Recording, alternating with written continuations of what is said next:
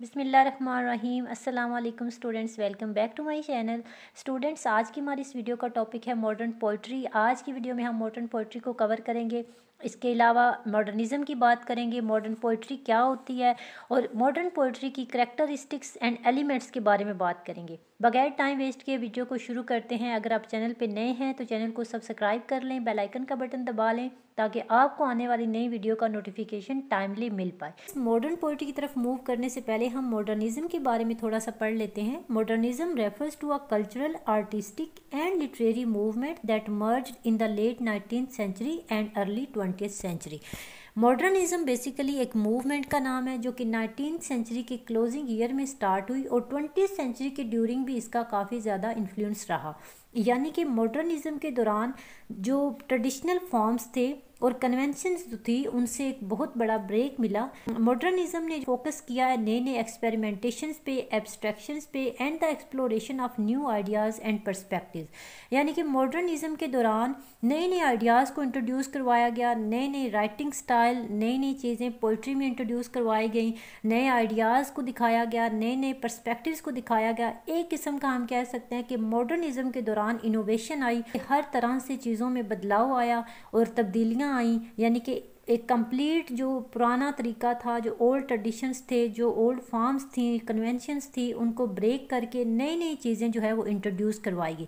अगर आप मॉडर्निज़म के ऊपर कंप्लीट वीडियो देखना चाहते हैं तो बॉक्स में आपको वीडियो का लिंक मिल जाएगा। आप उस वीडियो को लाजमी वॉच करें ताकि आपको मॉडर्निज़म के बारे में तमाम जो नॉलेज है वो मिल सके। अभी हम बात करते हैं मॉडर्न पोइट्री के बारे में। Modern poetry is concern with the English poetry's return during the modern age यानी कि मॉडर्न एज के दौरान जितनी भी पोइट्री लिखी गई, उसको हम मॉडर्न पोइट्री कहते हैं। मॉडर्न पोइट्री स्टार्ट हुई थी अर्ली ट्वेंटी सेंचुरी में। Modern poetry typically refers to poetry written in the twenty and twenty first centuries marked by a departure from traditional poetic forms and themes important point है कि जितनी भी modern poetry थी, उसमें से जितने भी ओल्ड ट्रेडिशनल फॉर्म्स थे पोइट्री के पोइट्री के फॉर्म्स थे और थीम्स थे, उनको निकाल दिया गया। नए नए तरीके नए नए आइडियाज़ नए नए थीम्स जो थे, उनको इंट्रोड्यूस करवाया गया। यानी कि जितने भी रोमांस और लव के रिलेटेड थीम्स थे, वो भी पीछे हटने लगे। नए आइडियाज़ को इनोवेट किया जा रहा था, ठीक है?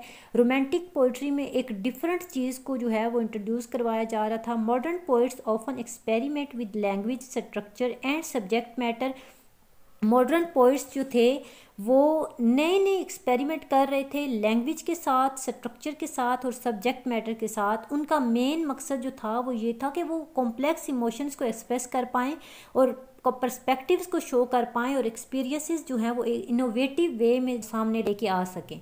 स्टूडेंट्स, यहाँ पे एक बात आपको याद रखनी है कि जैसे ही टेनिसन की डेथ हुई थी, उनकी डेथ के साथ ही ऐसे लगने लगा था क्रिटिक्स को, बल्कि ऑल ओवर कि इंग्लिश पोइट्री का जितना भी वाइड इम्प्रेशन था, जितने भी ग्लोरियस डेज़ थे, वो ख़त्म हो गए। लेकिन ऐसा कुछ नहीं हुआ था, बल्कि उनकी डेथ के बाद नए नए पोइट मॉडर्न पोइट सामने आए नई नई पोइम्स मंजर आम पे आई। बहुत ज़्यादा ऐसे मॉडर्न पोइट्स थे जिन्होंने पोइट्री के अंदर नए नए तरीके जो है, वो इंट्रोड्यूस करवाए। इसके अलावा स्टूडेंट्स मॉडर्न टाइम पीरियड में जितने भी मॉडर्न पोइट्स थे, उनका ये बिलीव था कि एक पोइट का बिज़नेस ही ये है कि वो अपने आर्ट के ज़रिए यूनिक चीज़ें सामने लाए। यानी कि वो शेपलेस चीज़ों को शेप दे और अपनी इमेजिनेशन से अपने आर्ट के थ्रू जो है वो यूनिक चीज़ें सामने लाए। यहाँ पे हमारे पास एक हमारे इंपॉर्टेंट राइटर हैं क्रिटिक हैं टी एस एलियट जो कि एक मॉडर्न पोइट हैं और एक चीफ रिप्रेजेंटेटिव हैं मॉडर्न पोइट्री के, जो कि एक बहुत बड़े पोइट भी हैं क्रिटिक भी हैं। उन्होंने अपनी पोइट्री के ज़रिए अपनी पोलिटिकल थ्योरीज को इंट्रोड्यूस करवाया।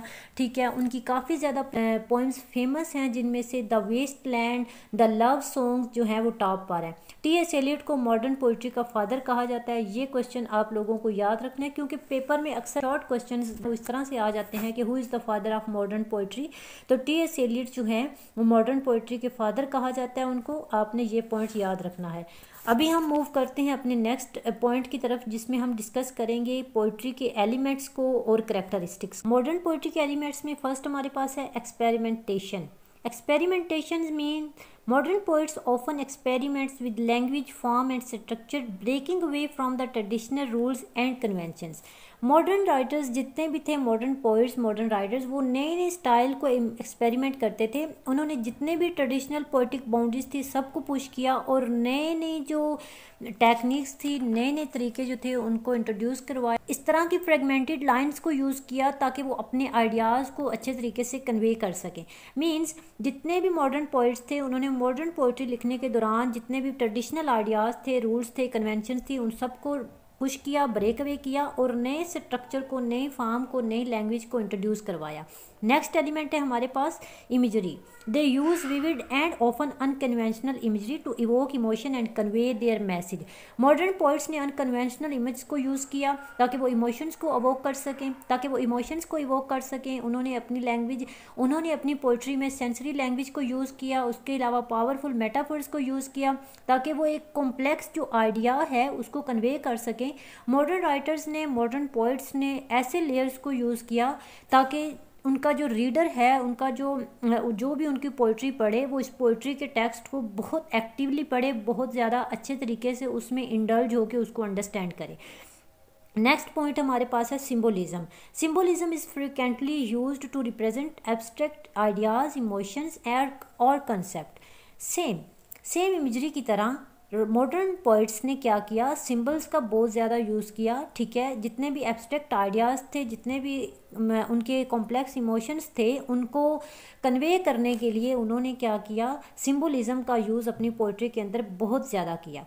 उसके अलावा फ्री वर्स का यूज़ हुआ, जैसा कि हमने पहले बात की कि मॉडर्न पोइट्री में जो है, वो फ्री वर्स यूज़ किया गया पोइम्स में विदाउट अ स्ट्रिक्ट मीटर और rhyme scheme allowing for greater flexibility and creativity है स्ट्रिक्ट मीटर है या कुछ राइम स्कीम है, उसको यूज़ किए बगैर फ्री वर्स में पोइम्स लिखी गई, ताकि उनकी फ्लेक्सीबिलिटी और उनकी क्रिएटिविटी को और ज़्यादा जो है वो इम्पोर्टेंस दी जाए। नेक्स्ट पॉइंट है हमारे पास fragmentation and ambiguity modern poets में employ fragmented or disjointed structures to reflect the fragmented nature of modern life और कॉन्शियसनेस यहाँ पे बात हुई है फ्रेगमेंटेशन के बारे में। मॉडर्न पोइट्स जो हैं वो अपनी राइटिंग में फ्रेगमेंटेशन का यूज़ करते अपनी राइटिंग में गैप छोड़ते थे और पोइम्स में एक अनसोल्व सी टेंशन छोड़ते थे ताकि रीडर जो है वो उसको डीपली इंटरप्रेट करे और उसके जो मल्टीपल मीनिंग है उनको समझे। आई होप आपको इसकी समझ आई होगी कि वो किस तरह से रीडर को अट्रैक्ट करते थे, किस तरह से अपनी पोइट्री लिखते थे कि वो रीडर की ज़्यादा अटेंशन ले पाएँ और रीडर का जो ज़्यादा इंटरेस्ट है वो डिवेलप कर पाएँ। नेक्स्ट पॉइंट हमारे पास है थीम्स थीम्स की बात हुई है कि मॉडर्न पोइट्री में एक बहुत बड़ी रेंज में थीम्स को एक्सप्लोर किया गया, जिसमें alienation identity technology urbanization and the human condition यानी कि थीम्स में इनोवेशन लाएगी जितने भी और थीम्स थे उनको ख़त्म किया गया। लेकिन एक बात है कि लव का थीम जो है वो उसके ऊपर पोइट्री लिखी गई, उसको कहीं ना कहीं यूज़ किया गया, लेकिन बाकी जितने भी ओल्ड थीम्स थे उनको ख़त्म किया गया। नेक्स्ट पॉइंट हमारे पास है stream of consciousness stream of consciousness जिन्हें वो से कनेक्टेड रिलेटेड है। ऊपर मेरी डिटेल्ड वीडियो भी मौजूद है। आप उसको देख सकते हैं। स्ट्रीम ऑफ़ कॉन्शियसनेस थॉट्स के फ्लाव को कैप्चर करने के लिए मॉडर्न पोइट्स जो है वो यूज़ करते हैं। ठीक है? Some modern poets utilize stream of consciousness techniques presenting the flow of thoughts and emotions without a linear structure यानी कि जितने भी मॉडर्न पोइट्स हैं, ठीक है, वो स्ट्रीम ऑफ़ कॉन्शियस का इस्तेमाल करते थे। इस टेक्निक के ज़रिए जो राइटर है, वो एक इंसान के ख्यालात की जो कॉम्प्लेक्सिटीज़ हैं, उनको दिखाता है।